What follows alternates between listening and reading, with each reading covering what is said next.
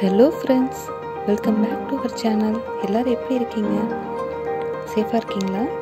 இன்றைக்கி நான் வந்துட்டு ஒரு பனானா கேக் ரெசிபியும் கூடவே பாலக்கீரை நான் எப்படி சிம்பிளாக பாலக்கீரை செய்வேன்ற ரெசிபியோட என்னோடய evening day in my life விலாகும் சேர்த்து போட்டிருக்கேன்.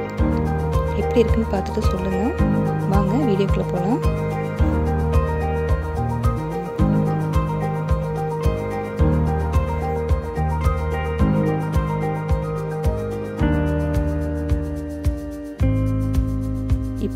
ஓவனை ஓவனோட ஆப்ஷன் எப்படி சூஸ் பண்ணுறதுன்னு சொல்லிடுறேன்.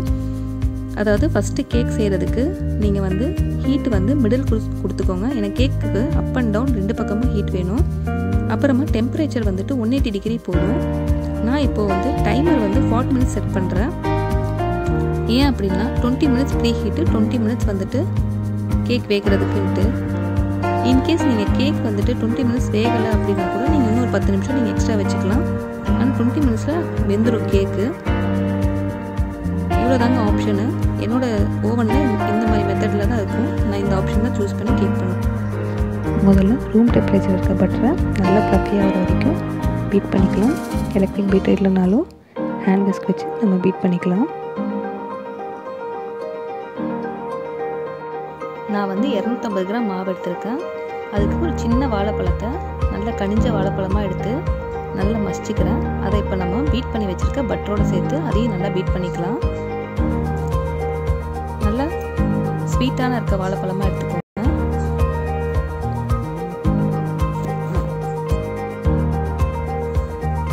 இப்போ வந்து நான் இரநூறு கிராம் சுகர் ஆட் பண்ணியிருக்கேன் ஏன்னா வாழைப்பழத்தில் ஏற்கனவே ஸ்வீட்னஸ் இருக்கிறனால இரநூறு கிராம் சுகர் போடும் இல்லைன்னா ரொம்ப திகட்டிடும். இப்போ நான் போட்டிருக்கிறது கிறிஸ்டல் சுகர் தான். நீங்கள் பா ஹேண்ட் பிஸ்க்கு பண்ணுறீங்க அப்படின்னா பவுடர் சுகர் ஆட் பண்ணிக்கோங்க. ஏன்னா எலக்ட்ரிக் பீட்டர்ன்றனால சீக்கிரமாக கரைஞ்சிரும். நீங்கள் வந்து நார்மல் பீட்டில் எலக்ட்ரிக் இல்லாமல் ஹேண்ட் பிஸ்க் பண்ணுறோம் அப்படின்னா ரொம்ப கஷ்டமாக இருக்கும். அப்போ நீங்கள் வந்துட்டு பவுடர் சுகர் போட்டு பீட் பண்ணிட்டீங்க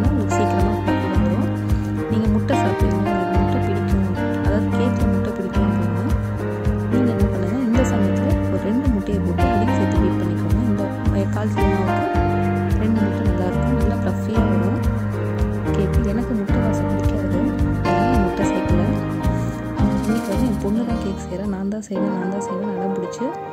அவள் தான் இப்போ பீட் பண்ணிகிட்ருக்கிறா சரி நான் ஒரு வாட்டி அவளுக்கு எலக்ட்ரிக் பீட்டரில் எப்படி பீட் பண்ணணும்னு சொல்லிட்டு எனக்கு கிளாஸ் பவுலில் எப்படி ஹேண்டில் பண்ணணுன்றதை சொல்லி கொடுத்துட்டு பீட்டர் அவள்கிட்ட கொடுத்துட்டேன்.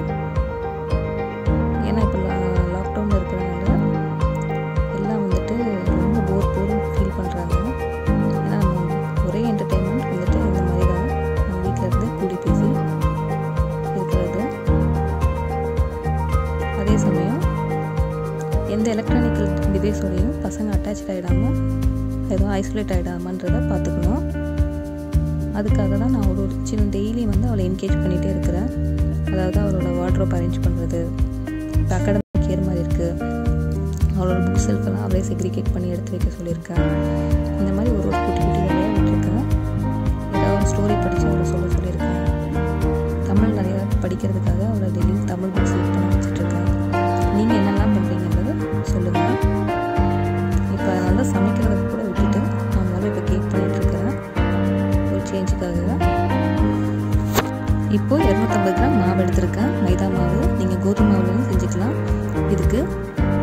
ஒரு டீஸ்பூன் பேக்கிங் பவுடர் அப்புறமா half teaspoon baking soda.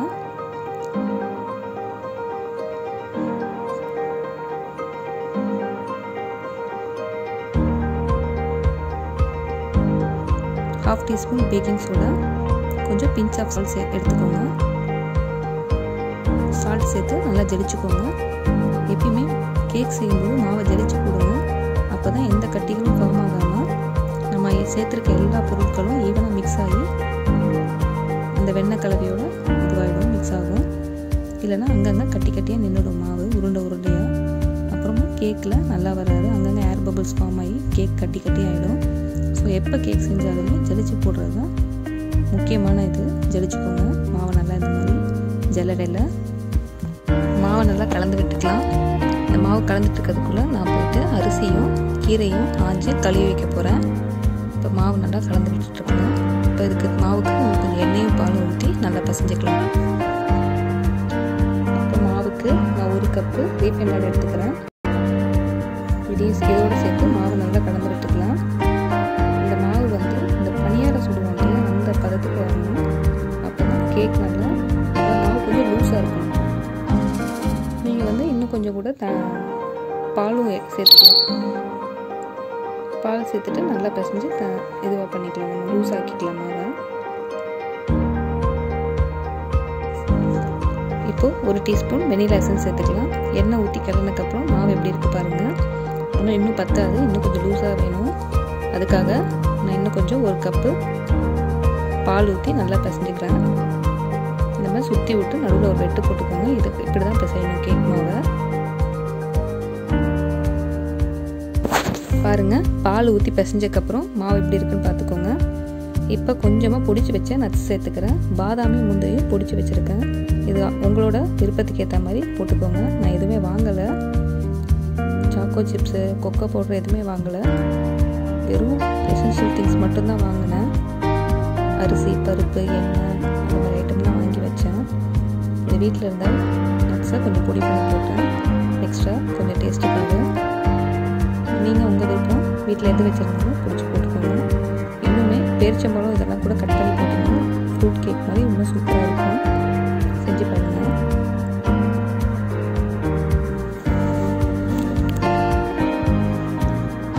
இப்போது பேனை நல்லா க்ரீஸ் பண்ணிக்கலாம். நம்ம எதில் கேக் ஊற்றி வைக்க போகிறோமோ அந்த பேனை நல்லா பட்டர் போட்டு க்ரீஸ் பண்ணிக்கலாம்.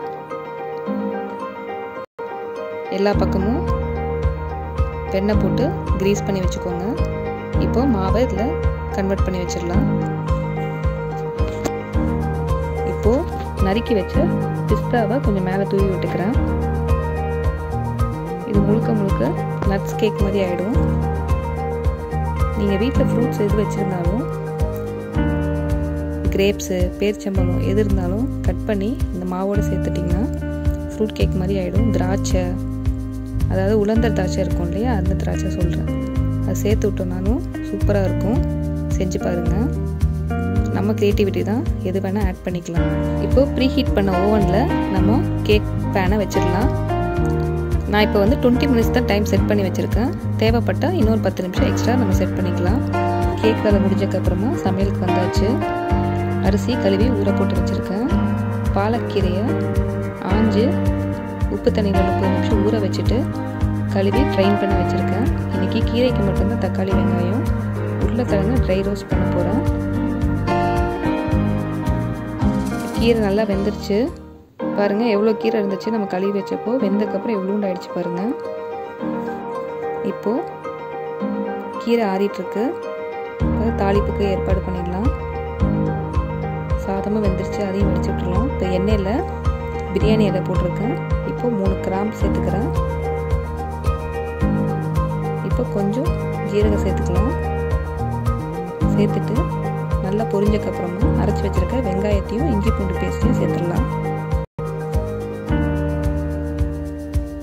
வெங்காயம் இஞ்சி பூண்டு பேஸ்ட்டு ரெண்டுத்தையும் ஒன்றா போட்டு அரைச்சிருக்கேன். அதை நல்லா அந்த எண்ணெயில் போட்டு வதக்கிக்கலாம் பச்சை வாசம் போகிற வரைக்கும். இதுக்கு நடுவில் ஒரு வாட்டி கேக் வெந்துருச்சான்ட்டு நடுவில் ஒரு வாட்டி எடுத்து பார்த்தேன். தீஞ்சிடக்கூடாதுன்ட்டு. ஒரு அஞ்சு நிமிஷம் ஒன்று இருந்தால் நல்லாயிருக்கும். கடைசியில் கொஞ்சம் லைட்டாக மாவு கொட்டின மாதிரி இருக்குது இப்போது அரைச்சி வச்சுருக்க தக்காளியை சேர்த்துடலாம். அந்த வெங்காயத்தோட. அதுவும் நல்லா பச்சை வடை போகிற வரைக்கும் நல்லா வதக்கிக்கலாம். தெரிக்கும். பக்கத்துலேயே ஒரு மூடி வச்சு மூடி விட்ருங்க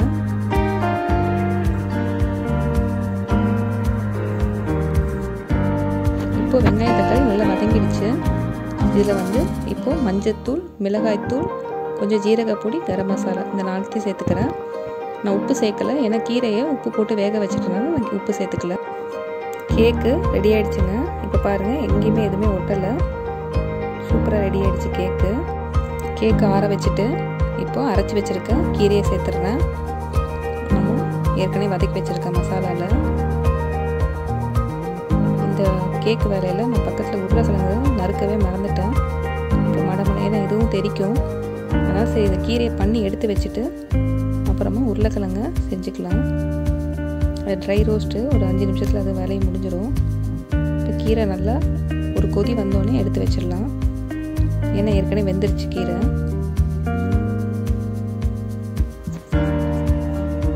இன்னைக்கு கீரை சாப்பாடு சாப்பிட்டு முடிச்சாச்சு. படுத்ததெல்லாம் அடுத்ததெல்லாம் கேக் சாப்பிட்டு ரெடி ஆகிட்டாங்க கேக் எப்படி இருக்குன்னு கட் பண்ணி காட்டுறேன்.